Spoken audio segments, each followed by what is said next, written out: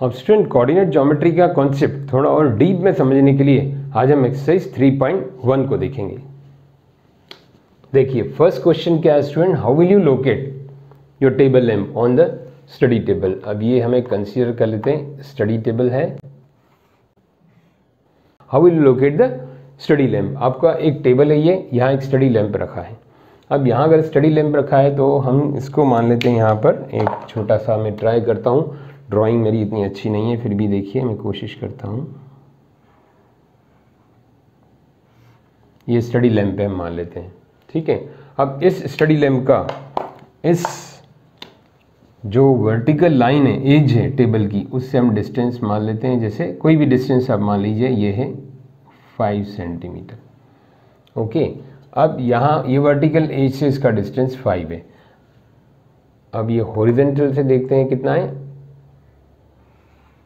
एक आ, हम मान लेते हैं करीब है ये ट्वेल्व सेंटीमीटर। ओके ये फाइव है ये ट्वेल्व है।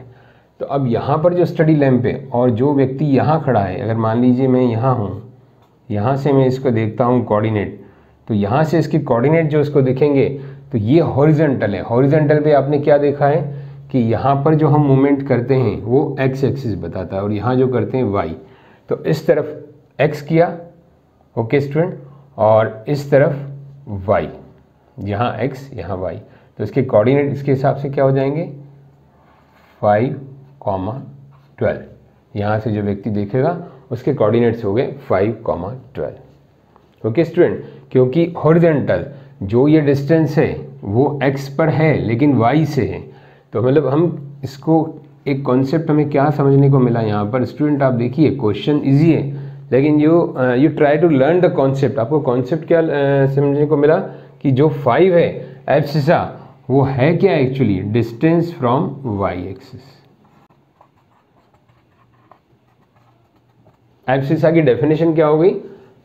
On the x axis we are moving on the x axis but distance from the y axis y axis से जितनी दूरी है ये वाली वाई एक्सिस से दूरी है इसकी फाइव कार्टेशियन प्लेन पे यही मैं दिखा रहा हूँ तो ये एप्सिसा है। तो ये y से जो डिस्टेंस है, वो कहलाता है एप्सिसा तो इसके कोऑर्डिनेट हो गए फाइव अब यहाँ से जो हॉरिजेंटल टेबल का एज है, वहाँ से कितनी दूरी है इसकी? 12 तो मतलब ये दूरी कैसी है? ऐसी. तो ये है 12 यहाँ पर.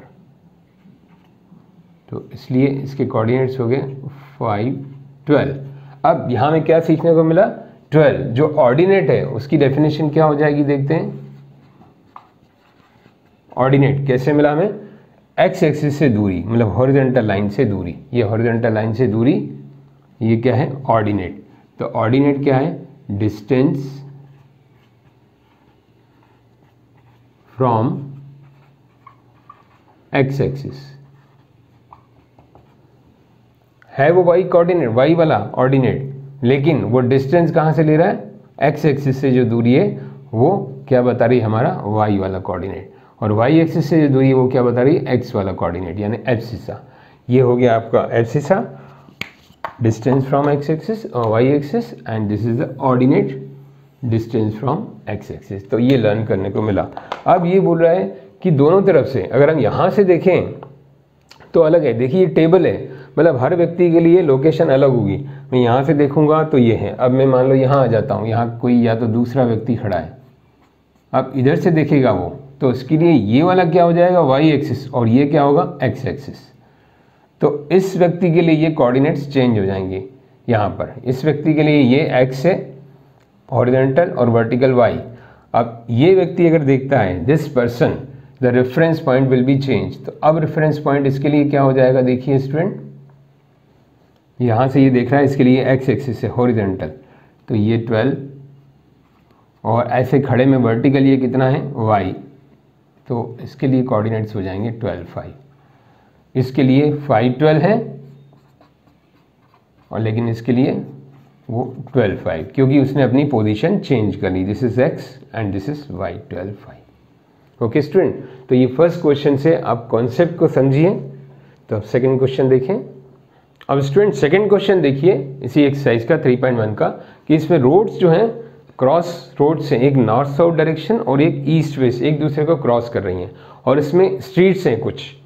Streets, five streets north south है, इन्हीं रोड्स के पैरल और फाइव स्ट्रीट ईस्ट वेस्ट है, जिसको हम अभी बना रहे हैं। और इसमें अपने को कुछ पर्टिकुलर पॉइंट्स लोकेट करने हैं। तो पहले इसके मैं स्ट्रीट बना लेता हूँ आपके सामने। अब स्टूडेंट, देखिए, ये जो नॉर्थ साउथ और ईस्ट वेस्ट तो ये तो डायरेक्शन है, इन्हीं डायरेक्शन में नॉर्थ साउथ पे कितनी स्ट्रीट्स हैं? Street one two three four five तो ये हो गई street one two three four five और ऐसे ही नॉर्थ साउथ में जो है one two three four five east west में भी one two three four five one two three four five अब देखिए स्टूडेंट क्वेश्चन में क्या कह रहा है कि सेकंड स्ट्रीट ध्यान से देखिए नॉर्थ साउथ डायरेक्शन की second street north south direction की मतलब नॉर्थ साउथ डायरेक्शन ऐसे है। वन टू ये वाली सेकंड स्ट्रीट और fifth street east west direction की। ईस्ट वेस्ट वाले की one two three four five तो हम इसको मिलाएँ तो क्या हो गया ये? तो इसके कोऑर्डिनेट हो जाएँगे टू कॉमा फाइव जो क्वेश्चन के अंदर दिया है कि सेकंड स्ट्रीट ईस्ट वेस्ट यानी कि वो कौन सी डायरेक्शन में चला? एक्स एक्सिस में। और फिफ्थ वर्टिकल यानी कि वाई एक्सिस पे नॉर्थ साउथ डायरेक्शन में इसके कोऑर्डिनेट टू फाइव अब स्टूडेंट फ़र्स्ट पार्ट क्वेश्चन का हम देखते हैं थर्ड देखिए, क्या दिया है? इसको मैं फोकस कर रहा हूँ फ़र्स्ट पार्ट को third street of the north south direction तो नॉर्थ साउथ डायरेक्शन की third street one two three और फोर्थ स्ट्रीट किसकी हो गई? ईस्ट वेस्ट डायरेक्शन की। तो fourth street east west direction की, ये हो गया अपना point this is the point देखिए। One, two, three. ये वन, टू, थ्री किस डायरेक्शन में चले? एक्स एक्सिस हॉरिजेंटल तो ये कौन बता रहा है हमको? वन, टू, थ्री, ये दिस वन जो नॉर्थ साउथ वाली। अब, इस पर कितना चले हम? One, two, three, four. तो इसके कोऑर्डिनेट्स क्या हो जाएँगे देखिए स्टूडेंट थ्री कॉमा फोर। अब सेकंड पार्ट इसी का उल्टा बोल रहा है, वो fourth of the north south direction one, two, three, four. Fourth किसका हो गया? नॉर्थ साउथ डायरेक्शन का। और थ्री किसका? ईस्ट वेस्ट का। ये नॉर्थ साउथ का और ये ईस्ट वेस्ट का थ्री वन टू थ्री तो ये कौन सा हो जाएगा देखिए स्टूडेंट फोर कॉमा ये फोर हो गया अपना एक्स एक्सिस पे कॉमा थ्री तो ये हो गया this one